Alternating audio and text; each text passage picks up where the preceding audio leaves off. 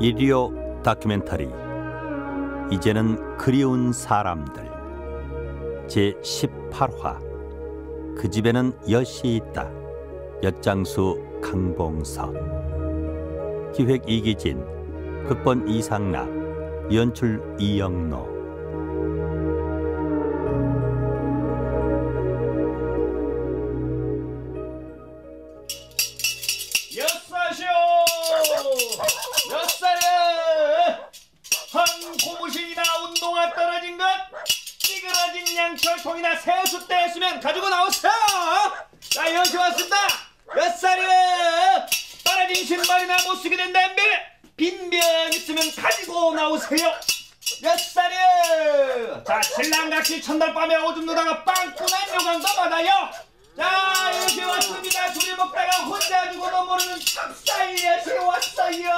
70년대에만 해도 리어카의 엿목판을 싣고 농촌 마을을 다니며 엿사려를 외치던 엿장수의 가위 소리를 어렵지 않게 들을 수 있었다.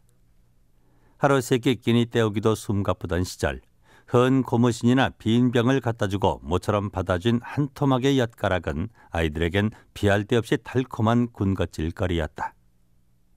가위 소리에 이끌려 엿장수의 리어카 주위로 몰려든 사람은 아이들만이 아니었다. 야, 자, 여치기에서 진 사람이 역값 내는 거야. 좋아 좋아. 가만히 있자. 이 구멍이 크게 생긴 놈이 어떤 놈이냐? 요 놈이 좋을까? 요것도 아니고. 좋아 나요 놈을 골랐어. 어디 보자. 자, 아, 야, 나도 골라 잡았어. 자, 하나, 둘, 셋 하면은 딱 부러뜨리는 거야. 좋아 자 하나 둘 셋 야, 자, 어디 대보자. 내 구멍이 더 크지 이거 아이 무슨 소리야? 내게 더 크잖아. 다 큰 어른들이 엿장수의 엿판을 둘러싸고 한바탕 엿치기를 한다. 쩔꺽쩔꺽 울려대는 가위 소리와 엿장수의 구성진 엿단쇠 소리.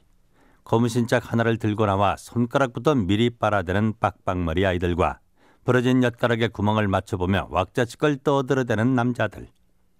이제는 저만치 흑백 필름 속으로 사라져간 희미한 풍속화가 되어버렸다.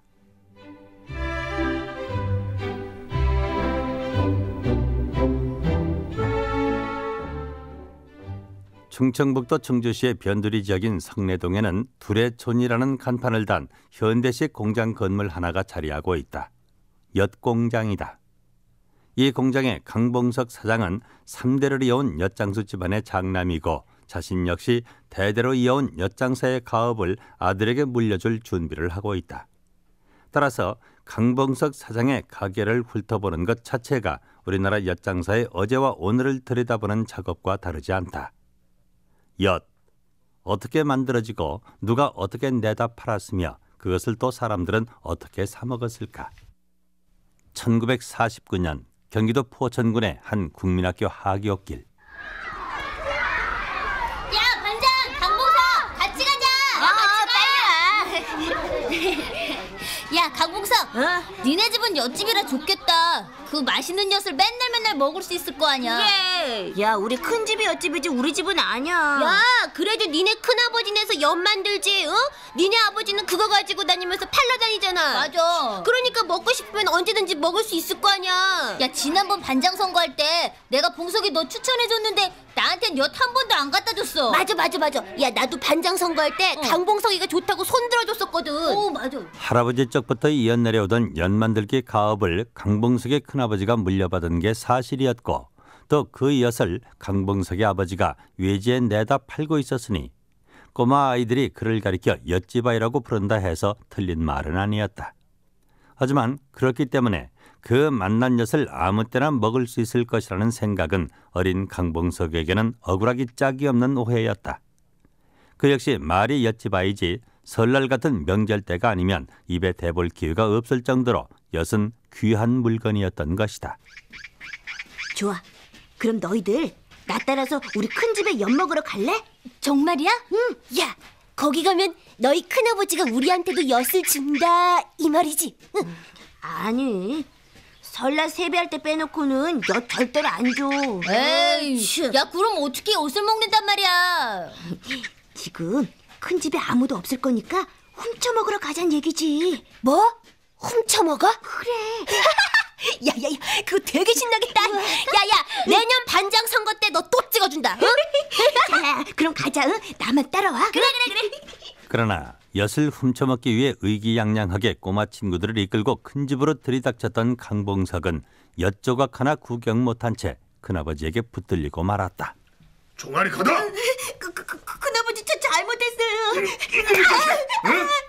삼지창을 들고 대문에서 보철 서도 시원찮을 판국에 아니 니놈이 애들을 끌고 큰 집에 도둑질을 하러 와! 그, 큰아버지 잘못했어요. 다시는 안 그럴게요. 학급에서 반장으로 뽑혔다더니 도둑놈 대장으로 뽑혔구나 이놈아! 응? 한 번만 용서해 주세요, 큰아버지. 아직도 멀어서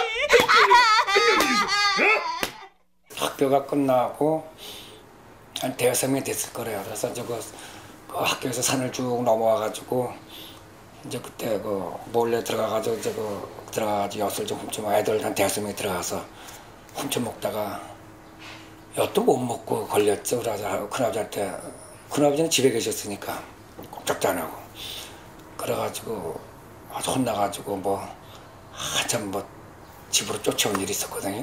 그래서 지금 생각하니까 그 엿이 귀하니까 그만큼 귀하니까 그런 현상이 벌어진 거지 뭐 그걸 못 먹게 하기 위해서 그런 건 아닐 것 같은 생각이 들어요 지금도 당시 어지간히 먹고 살만한 집안에서는 가을 추수가 끝나면 찹쌀이나 맵쌀로 엿을 고아두었다가 설날이면 세뱃돈 대신에 엿 한 조각씩을 선물로 내놓았다. 쌀을 불려서 찐 다음에 엿기름 가루를 넣고 가열했다가 채로 걸러내고 나서 다시 열을 가하면 물엿이 된다.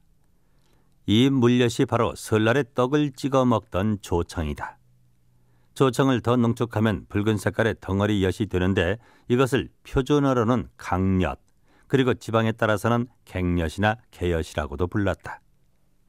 강봉석의 집이 엿집으로 불렸던 것은 다른 집에서는 그저 명절날 가족끼리 나눠 먹기 위해서 조금씩 엿을 고았던 데 비해 장사를 목적으로 엿을 대량으로 생산해내다 팔았기 때문이다.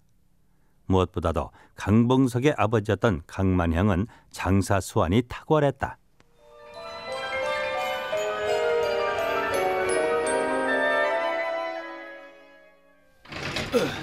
어이 김씨, 김씨 어디 갔나? 어. 아이 봉석이 애비가 웬일이야? 어, 어, 김씨. 마침 잘 왔구만. 저 자방고등어하고 동태가 오늘 막 들어왔어. 아유, 저, 저, 이 사람아. 내 저 고등어 동태를 사러 온 것이 아니고. 아니 그럼 뭐 미역이나 멸치 사러 왔나? 아, 저, 자네 말이야. 나하고 사업 한번 같이 해보지 않겠나? 아니 나하고 사업을 같이 하자고? 응, 응. 우리 건어물 가게는 어쩌고? 건어물 장사를 같이 해보자는 거지. 아, 참. 그 자네 어물들을 어디서 떼우나? 뭐 강원도 황해도 알 것 없이 안 돌아다니는 데가 없지. 왜? 내가 돈을 좀 버는 것 같으니까 배가 아파서 자네도 맞은편에 가게 하나 차리려고? 아이, 아니. 아, 우리 동네에서 그 뭐냐, 저 추럭 갖고 있는 사람이 자네뿐이자는가? 어? 자네 트럭으로다가 저 우리 집 엿을 좀 내다 팔자 이 말이지. 아니 내 트럭을 자네가 차지하면은 나는 어물 장사를 어떻게 하라고? 아이 참나. 아 이 사람아. 우리 집 엿을 싣고 해안 지방으로 가서 어물하고 바꿔 오는 거야. 응? 난엿 팔아서 좋고. 자네는 어물들을 싸게 들여와서 좋고. 어때? 그 듣고 보니 그 장사도 괜찮을 것 같은데. 어, 어 그래 그래. 그럼 한번 해보세. 장사 수완이 탁월했던 강만형은 트럭에다 한 번에 엿판 20여 개를 싣고 황해도 해안 지방을 돌면서 본격적인 엿장사를 시작했다. 그러니까 그의 엿장사는 리어카를 끌고 가위를 두드리면서 코 묻은 돈이나 고물을 받고 엿가락을 떼주는 방식이 아니라 해산물 생산 현장에 가서 엿판과 생선 상자를 맞바꾸는 물물 교환 방식이었다.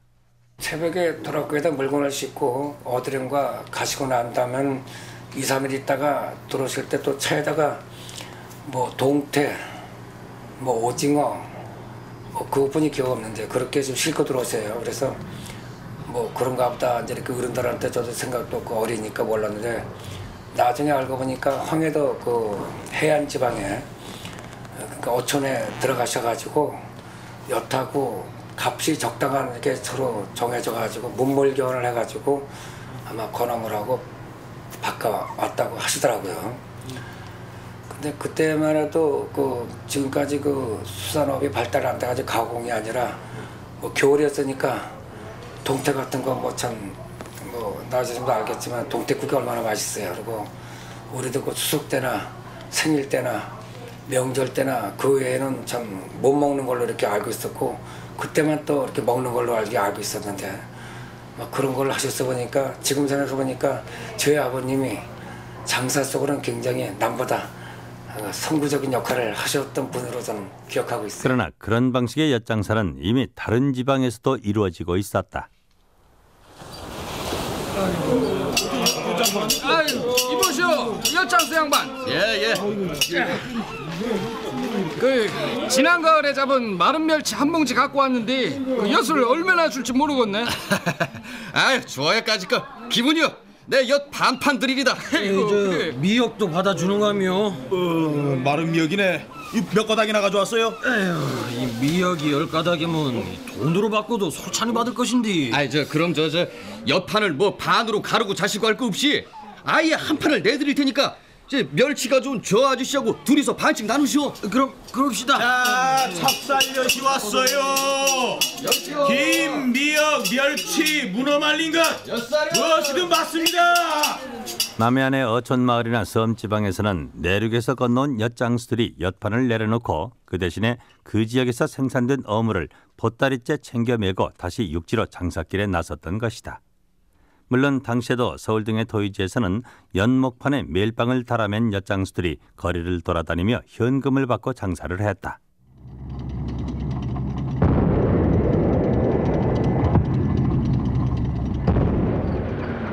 전쟁이 터졌다. 38선 인근에 살았던 강봉석의 가족들도 피난길에 올랐는데 저 여보 가다가 덮고 자려면 이불은 꼭 챙겨야 되겠는데요 자, 그럼 내가 이불 보따리하고 쌀 한 마를 지게 해줄 테니까 예. 아, 가만 있자. 어, 둘째야. 너도 애비치기에 올라앉아라. 네? 아이 저 엿은 어떻게 하지요? 아, 찹쌀을 한 마리나 고아서 해놨는데 아이 엿보따리에 멜빵 달아서 봉석이한테 짊어지라고 해. 아, 봉석아, 너 엿 한 말 짊어질 수 있지? 예 아버지. 어, 그래. 자, 이엿 팔지 않고 우리 식구끼리 나눠 먹는 거죠? 너 혼자 다 먹어도 아무 말 안 할 테니까 어디 한번 짊어지기나 해봐 문제 없어요. 자, 아이, 자 아이, 자, 이거 봐요. 아이, 그래 그래 우리 봉석이가 아버지를 닮아서 힘이 장사로구나 자, 자, 어서 어서 출발하자. 어? 아홉 살짜리 소년 강봉석은 찹쌀 한 마를 고아 만든 엿보따리를 짊어지고 부모를 따라 피난길에 나섰다. 엄마 힘들어서 못 가겠어. 좀 쉬었다 가면 안 돼요? 조금만 더 가면 의정부가 나올 테니까 거기 가서 쉬도록 하자. 자, 무거워서 못 가겠으면 그 엿보따리 애미가 좀 이고 아, 갈까? 아 아니요 아니요. 그, 그 괜찮아요 엄마. 아이고 어때? 봉석아, 봉석아, 아, 못 하고 있어. 빨리 빨리 와. 야야 아버지. 봉석아, 봉석아. 아이고, 아이고, 아이고야, 아이고 이게 어떻게 된 거야 이게? 아유. 국민학교 1학년 겨울에 전쟁이 났었어요. 그래가지고 145 때라 그러죠. 그래가지고 전쟁이 나가지고 그때 제가 그 국민학교 지금 가면 참 어쩌고 없는 일이 국민학교 1학년짜리가 뭘 힘이 있고 뭘 알겠습니다. 근데 제가 뭘 짊어지냐면 엿을 리쿠사코가 있었어요. 그때 이제 아버님이 외장시대 그 그런 것이 있어가지고 그 부모를 남아 있는 걸로 알고 있는데 그걸 리쿠사코에다 엿을 한 말 해가지고 어깨에다 짊어졌어요. 그거를 지고 넘어가다가 저기 그 송우리하고 의정부가 중간에 축살역 고개 축성 축살역 고개라는 데가 있어요. 거기 지금 정적 격전, 격전지로 이렇게 남아 있는데 거길 넘어다 눈이 까지 미끄러져 가지고 그 엿을 구석에 민상대에서 굉장히 그 밑에까지 굴러 떨어져 가지고 그는 언덕을 굴러 떨어지면서도 엿보따리만은 놓치지 않으려고 악착같이 부둥켜 안았다고 했다. 그때 짊어졌던 엿보따리를 환갑 나이가 든 지금까지도 내려놓지 못하고 있으니 피난길의 그 엿보쯤은 그에겐 운명 같은 것이었다.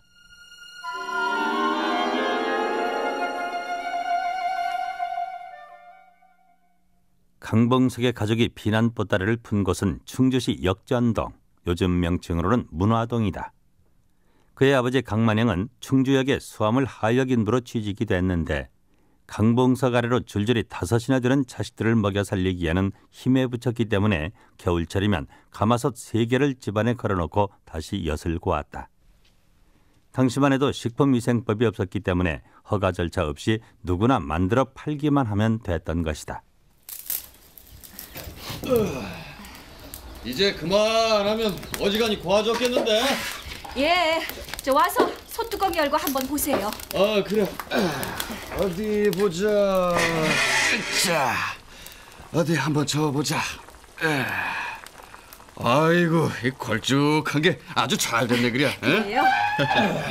아이고, 아저씨 엿 받으러 왔습니다. 아, 마침 다 구워졌다 했는데 귀신같이들 알고 들어왔네요. 자, 자, 자, 엿담을 그릇들 이리 가져와 봐. 예, 여기 있습니다. 아이, 저, 저 잠깐만요. 달라붙으면 안 되니까 콩가루 좀 뿌리고요. 엿을 받으러 왔다는 이 사람들이 바로 우리가 얘기하는 엿장수다. 가만, 가만, 가만, 가만. 저 흘리지 않게 양푼을 가마솥에 바짝 대라고 좀. 어? 그렇다면 남루한 차림에 번거지 모자를 쓴 이 사내들은 가마솥에서 달인 엿을 받아가지고 어디로 가는 것일까? 솥에서 막 고아낸 붉은 색깔의 엿을 강엿이라고 소개했거니와 엿장수 사내들이 연목판에다 가지고 다니는 흰색의 엿은 또 어떤 가공 과정을 거치는 것일까? 하얀 것이 왜 하얗게 되냐면요. 원래는 개엿 색깔, 시커먼 색깔, 검붉은 색깔이죠. 검붉은 색깔이 원색이래요. 또 그래야지 그 엿이 제일 맛이 있고. 그런데 이제 엿장수 마음대로 한다는 얘기 있잖아요. 그것이 어원이 어디서 나오냐면은 말뚝에다가 엿을 걸어가지고 자꾸 색을 그 말하자면 바람을 넣는 겁니다. 이제 엿을 한번 돌릴 적마다가 어, 땡기니까 색이 바래지면서 중간중간 바람이 들어가요. 근데 엿을 많이 그 말뚝에 걸고 시간을 많이 지체하면서 칠수록 부피도 많아지고 이 연맛도 이제 연해지죠. 왜 그러냐면은 개엿은 입에 먹으면은 자꾸 이 등에 들어붙잖아요. 근데 그건 자꾸 치면은 엿 농도도 약해지면서 양도 많아지고 바람도 들어가니까 먹기도 좋고 색도 하얘지죠. 그러니까 표백제 등을 섞어서 색깔을 변화시키는 것이 아니라 검붉은 강엿을 자꾸 잡아당겨서 느리고 또 다시 포개 느리고 하는 과정에서 색깔이 저절로 하얗게 변하고 또 중간에 바람이 들어가 부피도 커진다는 얘기다. 강봉석 사장은 이 작업을 엿을 친다고 표현했다. 가위질도 마음대로 하고 목판에서 엿을 떨어주는 것도 제 마음대로 할 뿐만 아니라 엿의 부피를 부풀리는 요술도 마음대로 부릴 수가 있으니 그야말로 엿장수 마음대로다. 자, 그러면 강봉석의 아버지로부터 강엿을 받아가지고 대문을 나서는 그들을 따라가 보기로 하자.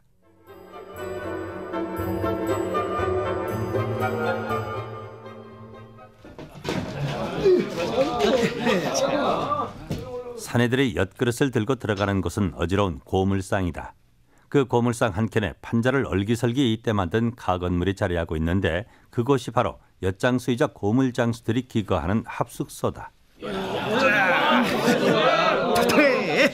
자 그럼 어디 엿을 한번 쳐볼까나? 아, 아 여긴 내 말뚝인데 왜 남의 자리에 와서 폼을 잡고 야단이야? 아참 그 아무나 먼저 하면 임자지 네 자리 내 자리가 어딨어? 아이 뭐야? 아, 좋은 말 할 때 저쪽을 비키지 못해? 대부분 의지가지 없는 사고문친의 사내들이 20여 명이나 한데 모여 지내는 곳이라 합숙소는 언제나 시끄럽다. 한 20명, 아니 15석 있는데요. 그 사람들을 거기서 이 고물상에서 밥을 돼요. 밥을 아침에 한때 얼마, 어, 한때 그럼 2,000원, 2,000원. 그건 점심에 나가서 먹고요. 저녁에 들어와서 저녁 먹고요. 두 때인데요. 2,000원씩. 그러면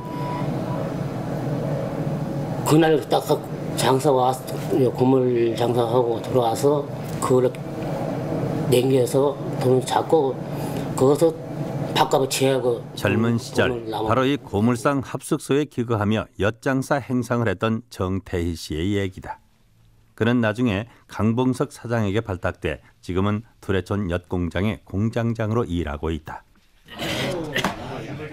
야, 야 춘삼아, 이 역까지 다 쳐줄 테니까 양철냄에 물좀 떠와라. 어? 정말이지? 어.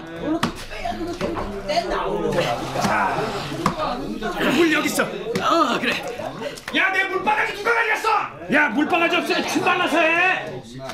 합석소 판자벽에는 나무 말뚝이 박혀 있는데 엿장수 사내들은 먼저 물렁물렁한 엿반죽 덩어리를 그 말뚝에다 걸치고 잡아당긴다.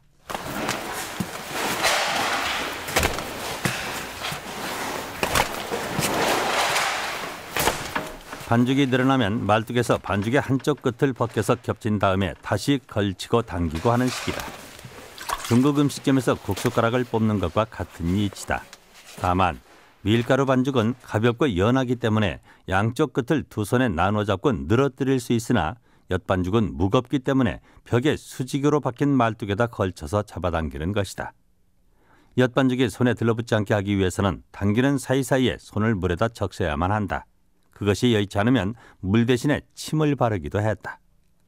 퀴퀴한 고물상의 합숙소에서 청결과는 거리가 먼 사내들이 주무르고 진이기고 해서 만들어낸 엿가락을 우리 모두는 아주 맛나게 사 먹었던 것이다.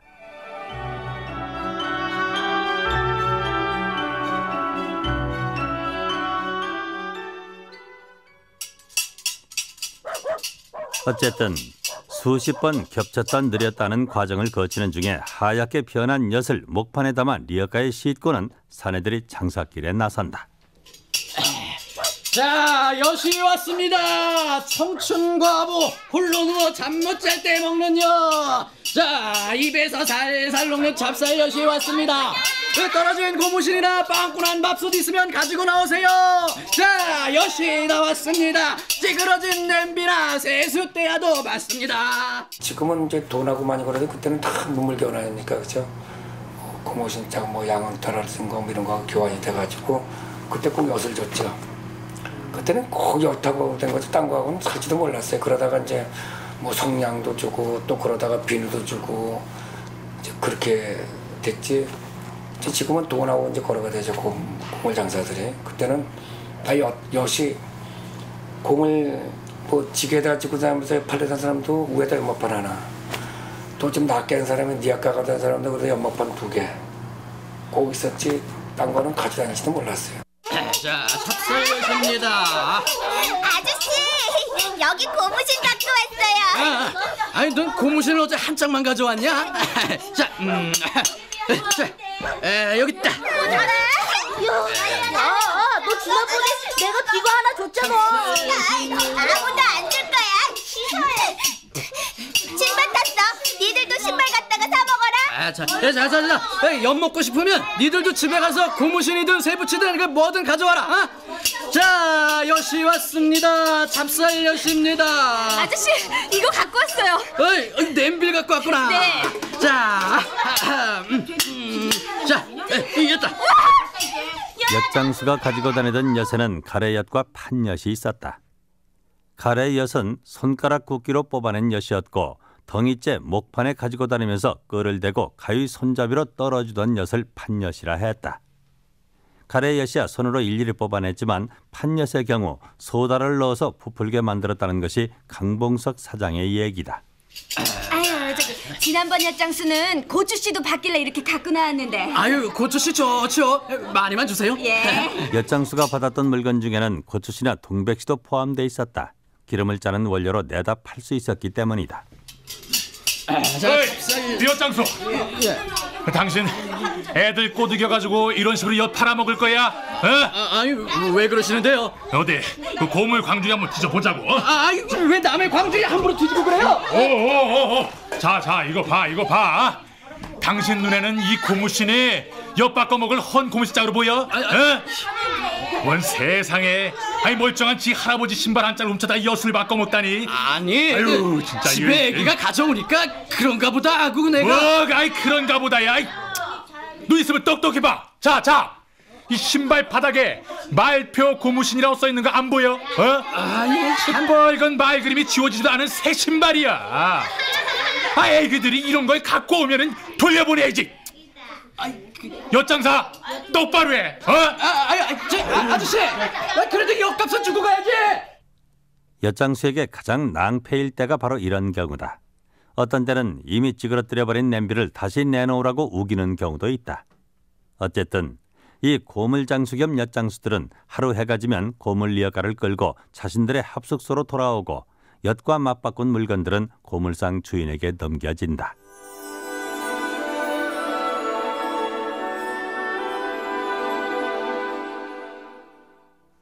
엿을 구워서 엿장수들에게 공급했던 강봉석의 아버지에게 가장 큰 애로사항이라면 다름 아닌 땔감 문제였다.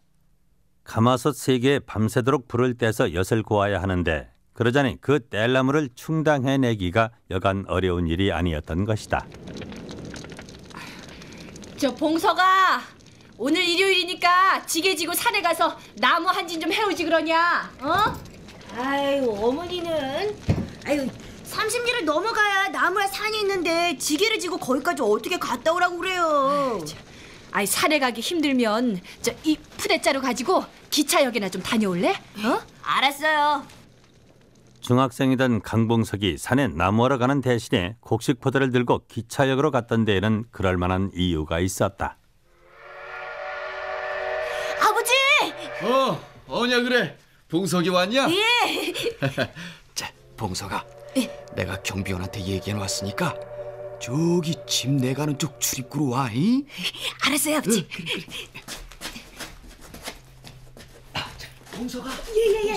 일로, 와. 자, 일로 와서. 자, 두 손으로 잘 벌려라. 예예. 자, 예, 자. 당시는 증기기관차 시절이었기 때문에 기관차들이 석탄을 연료로 사용했다.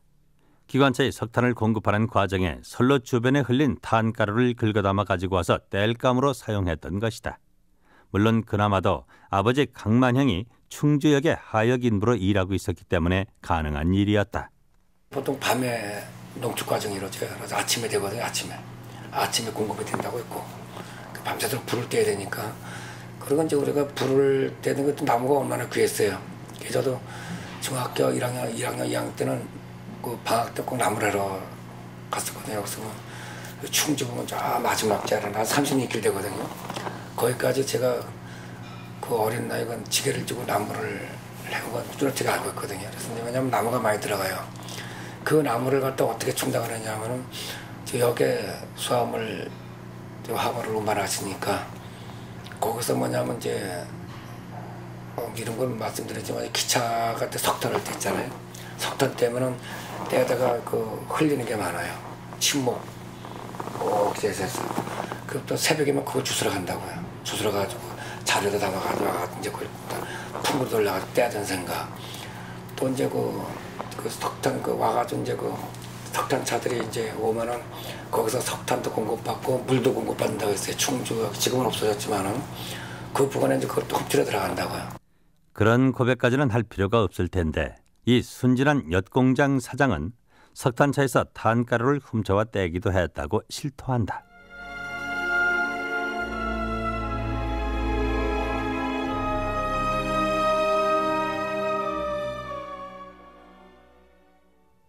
시간을 훌쩍 건너뛰어 1978년 겨울이 되었다. 어느덧 30대 접어든 그는 유수한 광업회사의 간부 사원이 돼 있었다. 게다가 초등학교에 다니던 남매까지 두고 있었는데 여보, 아무래도 직장을 그만둬야겠어. 직장을 그만두다니요? 아, 아니 왜 갑자기 그런 갑자기 결심한 게 아니고 그동안 쭉 고민을 해왔었는데 해도 가업을 이어야 할 것 같아. 가업을 잇다니요? 아이 우리 집에 가업이랄 게 뭐 있었어요? 가업이 없다니? 아, 조부 때부터 해오던 엿장사가 가업이 아니고 뭐야? 예? 아니 겨울 한철 가마솥에 엿고 와서 고물장수들한테 넘기는 그 일에 매달리려고 다니던 직장을 그만둔단 말이에요? 지금까지 해온 것은 부업 수준이었고 정식으로 엿 공장 허가를 받아서 본격적으로 한번 해보겠다는 거지. 3대째 엿을 만들어 왔는데 아니, 대한민국에서 엿을 가장 맛있게 잘 만들 사람이 우리 말고 또 누가 있겠어? 어? 그래요. 당신 결심이 정 그렇다면 그렇게 한번 해보십시다. 70년대 말부터는 고물상에서 엿을 비위생적으로 가공하던 것을 금지하고 별도의 허가를 받아서 가공 처리를 하게 했으나 소비자들에게 직접 엿을 파는 당사자가 고물장수들이었기 때문에 그들의 가공 작업은 정부에서도 막을 수가 없었다.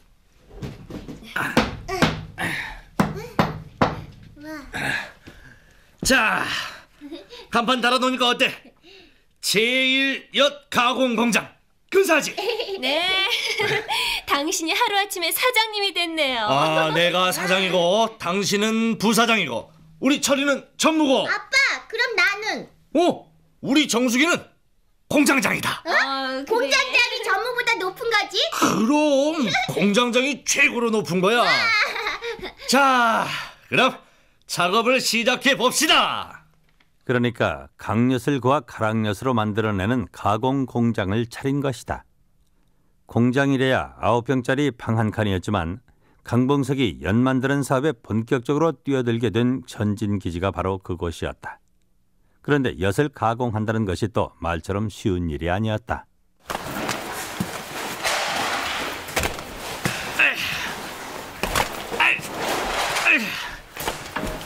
아, 이거 엿치는 작업이 이렇게 힘든 줄 미처 몰랐네. 아, 저 여친은 기술자 한 사람 오기로 했다면서요. 아, 글쎄 말이야. 오늘 오기로 했는데 소식이 없네. 아유, 이거 이거 짜장면 뽑기하고는 비교가 안 되는데.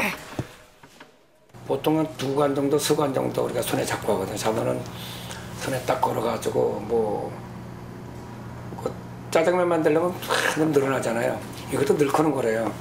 쫙 걸어가지고 쫙 이제 엿이 끈기가 있으니까 밀가루 같이 쫙쫙 늘어나지 않고 힘에 의해서 늘어나는 거죠. 힘에 의해서 쭉 내키고 내려가지고 또 한 바퀴 또 이렇게 이렇게 원형으로 되니까 원형으로 상태에서 잡아가지고 늘크고 또 두돌라가 또 늘고 그러니까 이거 한번 돌아갈 적마다 면 이렇게 엿이 그 면이라고 본다면은 면하고 면을 분들이 딱 들어붙질 않잖아요. 공간이 생기잖아요.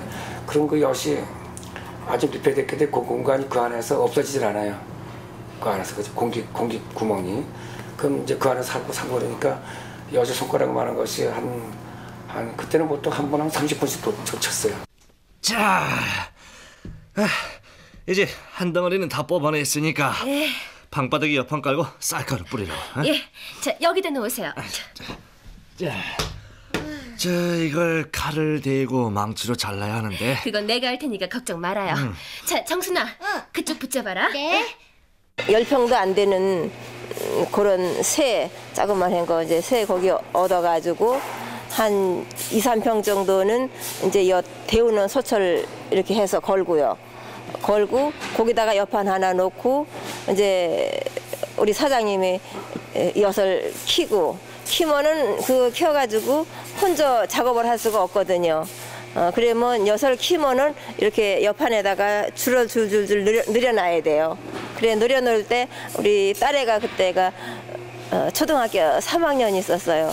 근데 이제 걔가 허- 그 도저히 한 사람이를 할 수 없으니까 걔 보고 이제 나는 이래 늙고 어, 걔 보고 줄을 이렇게 초등학교 3학년짜리 보고 줄을 늙으라 그래가지고 이제 망치로다가 대고 자를 대고 잘라야 되잖아요. 그러면은 그 자 같은 칼이 있어요. 그 칼을 들고 자르려면은 한쪽에서 붙들어 줘야지 얘 들고 망치질을 하지 안 그러면 혼자 할 수가 없잖아요. 온 식구가 밤을 새워 만들어 놓은 카레 엿은 아침에 고물 장수들이 떼다 팔았다.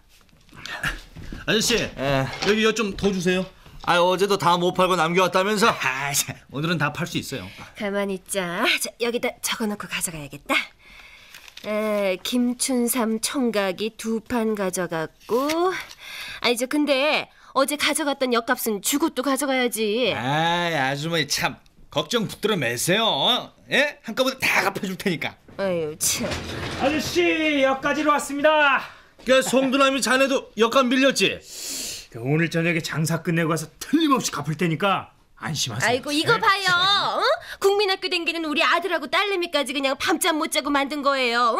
엿값을 제때 줘야 우리도 일을 할 거 아니에요. 아이고 참. 야, 아주머니 사람 한두 번 겪어보십니까?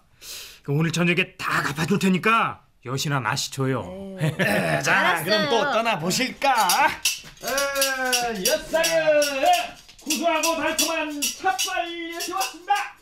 달리 판로가 없었기 때문에 밤을 새워 만든 카레 엿을 엿장수들에게 넘기는 수밖에 없었는데 문제는 엿장수들이 대부분 엿값을 제때 갚지 않는다는 것이었다.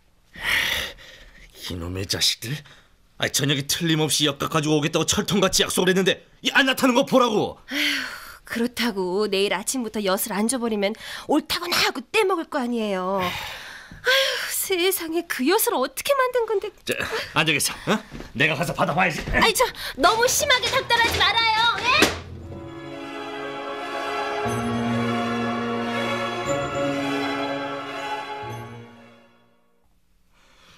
예? 여기들 모여 있나? 아이 사람들아! 오늘 엿값 가지고 온다더니 어떻게 된 거야? 아, 자, 이제 잠깐만 기다리세요. 아, 차, 비광이냐? 아, 아이, 차요 광초는 먹었어야 되는데 저거. 아, 진짜. 장단이나 맞아라. 어이 자네하고 자네. 아이 그리고 자네. 그 정말로 엿값들 안 갚을 거야? 아, 이거 참 아저씨. 아, 우리가 언제 엿값 떼먹는다 그랬어요. 아저씨 오신 김에 소주나 한잔 하시죠. 야 이놈들아, 그내 엿값 당장 내놔. 되돌려 패. 어? 또 판로를 하다 보니까 기존 그 고물상에서 엿을 막 만들어내고 그러니까 암만 허가를 만든다 하더라도 고물상마다 엿을 다 만들어내니까 아, 엿장수 들어오니까 이놈들이 이제 엿을 주문은 다 떼어먹으려고 그래 애들이 그뭐 애들 성격이 지금이나 그때나 똑같지만은 좀 뭐좀 사고쟁이들이나 가 있었고 또 모자란 사람들이 가 있었고 또 상대적으로 또 노름돌을 많이 하게 되요 그러니까 다루기가 엄청 어려워. 그래서 생각도 못해가지고 걔들한테 돈도 많이 띠고 이런 과정을 겪어가지고 해보니까 꼭 엿장수 들으면 팔라는 법이 없지 않냐. 엿장수들한테 엿값을 수도 없이 떼이곤 하자 엿을 엿장수들한테만 팔라는 법이 있느냐 하는데 생각이 미쳤다는 얘기다. 직장도 그만두고 달려들었는데 아, 여기서 포기할 수는 없잖아. 하지만 이런 식으로 해서는 엿장수들만 좋은 일 시키고 말 텐데요. 자, 그래서 생각한 건데 우리가 직접 장사를 해보는 게 어떨까? 예? 아니 우리가 엿판 메고 가위 치면서 팔러 다니자고요?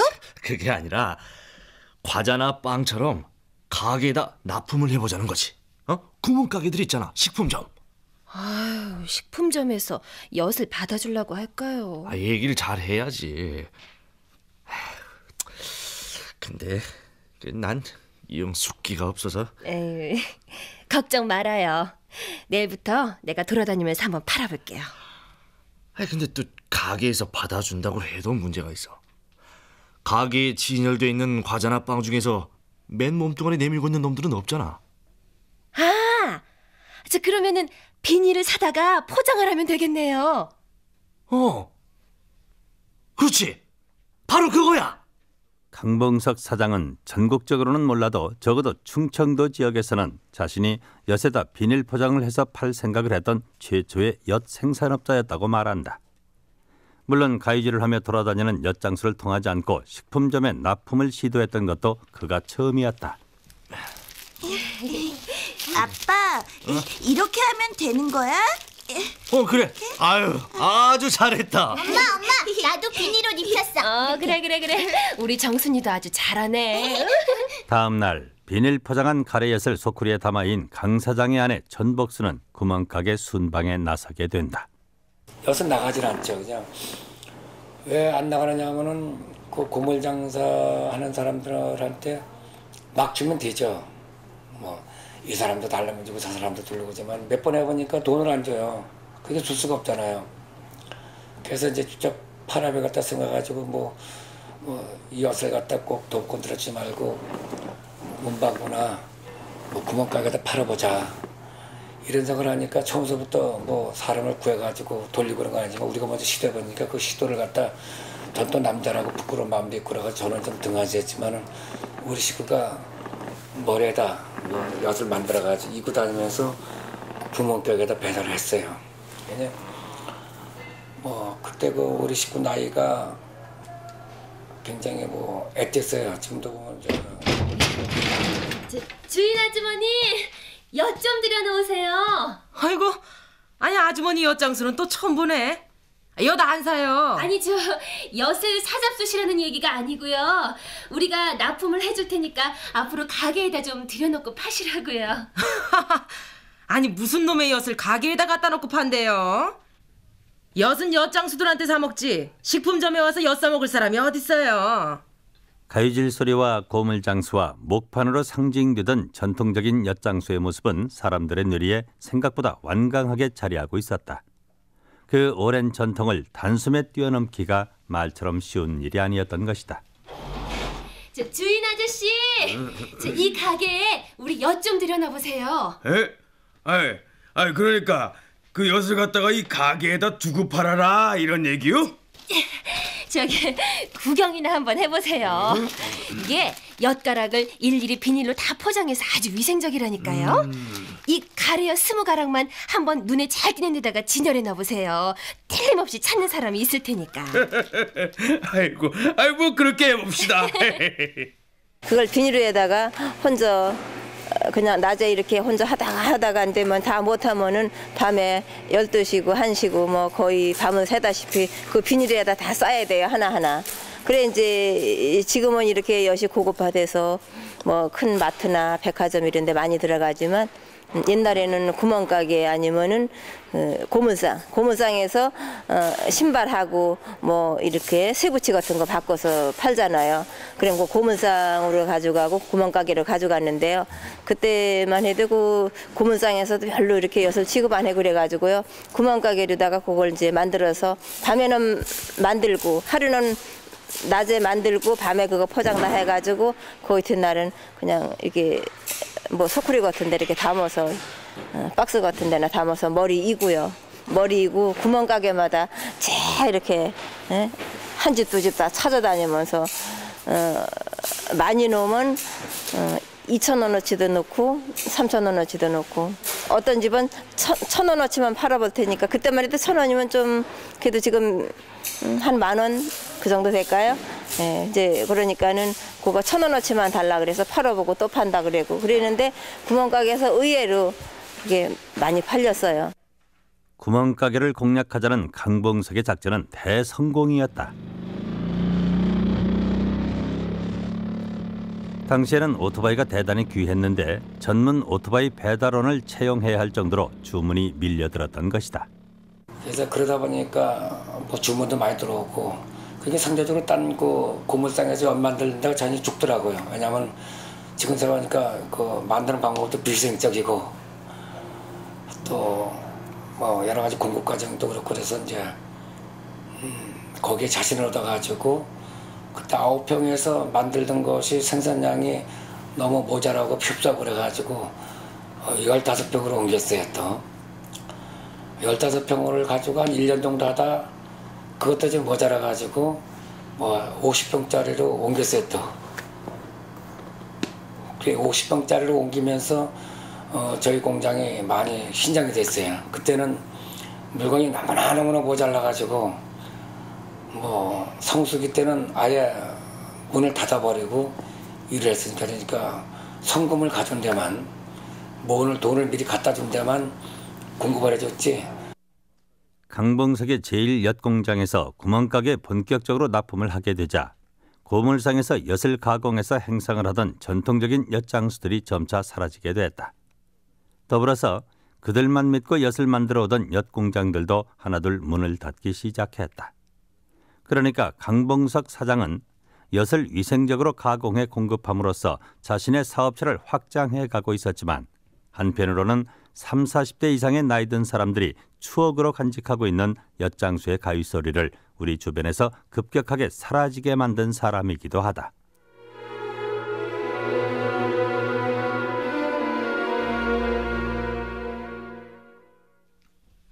아이 봐요 주인 아주머니 예, 기술자 아저씨. 아 여치는 일이 얼마나 힘든 노동인데 대접을 이렇게 해도 되는 거요? 아유 저뭘 어떻게 해드리면 좋겠어요? 아 이 막걸리 떨어진 지가 언젠데 술 받아올 생각을 안 하는 거예요 지금 아니 저 점심 때 술 한 주 전자를 다 마셨는데 더 마시면 안 될 텐데. 뭐요? 술 안 받아오면 나 일 못해요 아, 예예, 아유 받아다 드릴게요. 엿을 말뚝에 걸고 당기는 소위 엿치는 작업은 가공 작업의 전부라고 해도 좋을 만큼 힘들기도 했고 또 숙련된 기술을 요하는 작업이기도 했는데 그 때문에 기술자들의 위세가 보통이 아니었다. 걸핏하면 술에 취해 아예 결견을 해버리는 것이 예사였고 작업 중에도 비위에 거슬리는 일이 있으면 손을 털고 나가버리기 일쑤였다. 그 사람을 데리고 와야겠어. 아 니 경상도 영주인가 어딘가로 가버린 사람을 어떻게 찾아서 데리고 와요? 일단 가서 고물상부터 뒤져보면 행적을 알 수 있겠지. 강봉석 사장 내외가 데려오려고 하는 기술자가 바로 지금 두레촌 엿공장의 공장장으로 일하고 있는 정태희 씨다. 충주의 고물상에서 엿장사를 할 때부터 그의 성실성을 눈여겨 봐두었던지라 어떻게든 기술자로 데려오려고 했던 것인데 그가 갑자기 충주를 떠나버린 것이었다. 아무튼 삼거초려 끝에 그를 데려오는데 성공했고 그는 18년째 강 사장의 공장에서 일하고 있다.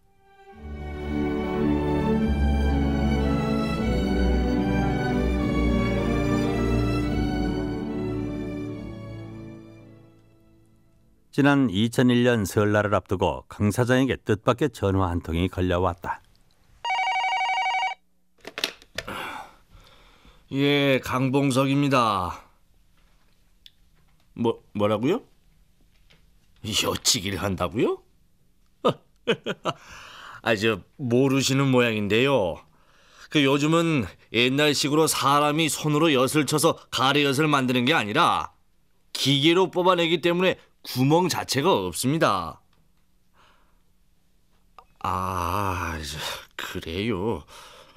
아, 글쎄요, 그 워낙 힘든 작업이라 이제 우리 공장장하고 한번 의논해 보고 연락드리겠습니다. 이게 이봐요, 공장장. 부르셨어요? 네, 그 저기 저쪽 그 경부선 대구 근방 고속도로 휴게소에서 말이에요. 여치기를 하겠대요. 여치기요? 네, 그 옛날 엿장수한테서 고무 신짝 주고 엿 싸먹던 시절이 그리워서 남녀노소 다 모여서 여치기 행사를 하겠다는구먼요. 아이 참.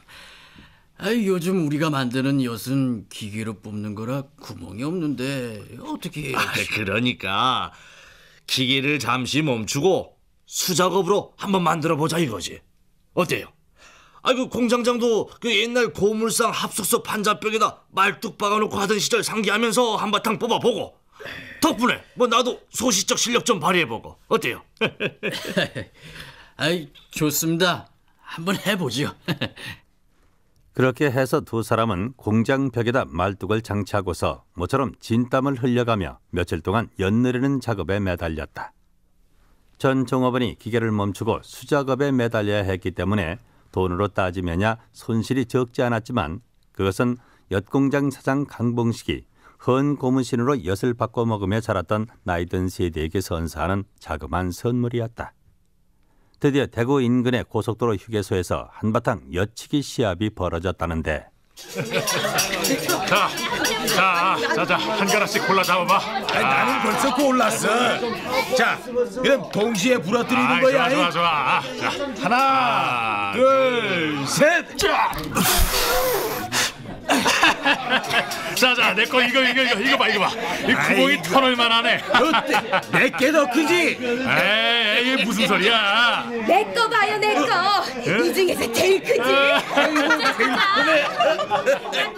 이날의 이색적인 행사를 통해서 머리가 희끗희끗한 노인에서부터 초등학생 꼬마에 이르기까지 자신이 부러뜨린 엿구멍을 상대방과 견져보면서 잠시나마 동심에 젖어들었다는데 평생 엿을 만들며 살아온 강 사장은 엿치기에도 나름의 비법이 있다고 귀띔한다. 참 여치를 하면서 싸우는 것도 많이 보잖아요. 네 구멍이 크다 내 구멍이 크다 싸우는 것도 많이 보지만은 그 엿의 구멍이라는 것은 우리는 엿을 만들어 봤기 때문에 꼭 100%를 맞히지 못하지만은 그래도 뭐 어느 정도 7, 80%는 이건 구멍이 크다 작다를 알 수 있다고요. 왜냐면 이제 그 구멍이 엿이 있다는 얘기는 좀, 좀 무게가 가볍겠죠. 그죠? 그리고 어, 엿을 만든 결이 좀 거칠은 게 있어요. 결. 결이 거칠으면은 그 안에도 거칠, 거칠거든요. 거칠으면은 구멍이라는 것이 엿하고 엿하고 만나는 부위가 이제 아까도 엿을 맞고도 엿을 칠 때게 그 거칠게 들어가면은 이제 구멍이 커져요. 이제 그러냐 그러니까 구멍이 클수록 어떤 여치게 우리가 보면 이렇게 다들 이렇게 들어보는 사람이 많아요. 그럼 조금 아는 사람이 들어보는 거지. 어, 이렇게 이렇게 들어본다. 그래서 조금 아는 사람 들어보는 거지 아무나 들어보지 않거든요. 그리고 이제 엿을 뭐 잘라가지고 뭐 야스를 내면서 그냥 신나게 막 불어대잖아요. 그렇게 입바람을 불어댄다고 작은 엿구멍이 커지는 경우는 없다는 것이 강 사장의 얘기다. 그러나 유감스럽게도 강 사장이 가르쳐준 엿치기 시합의 비법을 이제는 써먹을 기회가 없다. 자장면을 뽑아내듯이 전통적인 방식으로 엿을 생산하는 공장이 이제는 아무데도 없기 때문이다.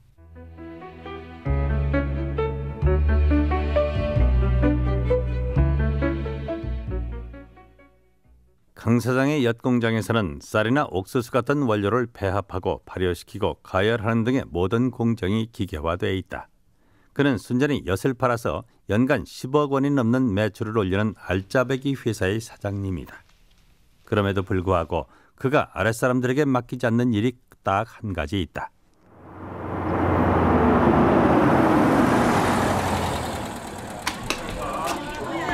아이고 아주머니들 안녕하셨어요. 아유 엿장수 아저씨 엿 다 떨어졌는데 왜 이제 오고 있어? 아이고 아이고 이거 미안합니다. 아이, 빨리 줘야죠. 충청도 일대의 국립공원이나 관광지 등에서 좌판을 펴놓고 장사를 하는 노점상들에게 엿을 갖다 파는 일만은 그가 직접 하고 있는 것이다. 하루 벌어 하루 살아가는 노점상 안악들이나 할머니들은 그를 거침없이 엿장수라고 부른다. 이봐 엿장수 아저씨. 예. 오늘 소주 한 잔 사. 어? 소주요? 아이 좋죠. 아저 그럼 그냥 여기 바닥에 신문지 딱 깔고 앉아서 자 한 잔씩들 합시다. 예? 강봉석. 그는 지금도 어쩔 수 없는 엿장수다.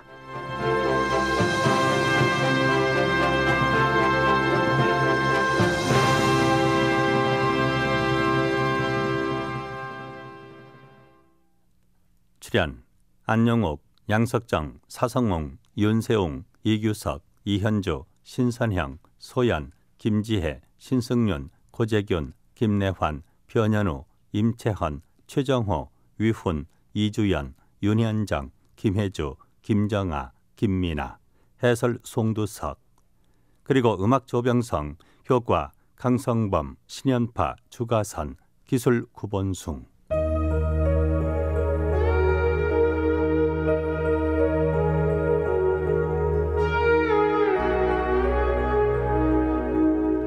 이디오 다큐멘터리 이제는 그리운 사람들 제 18화 그 집에는 엿이 있다 엿장수 강봉석 이상락 극본 이영로 연출로 보내드렸습니다.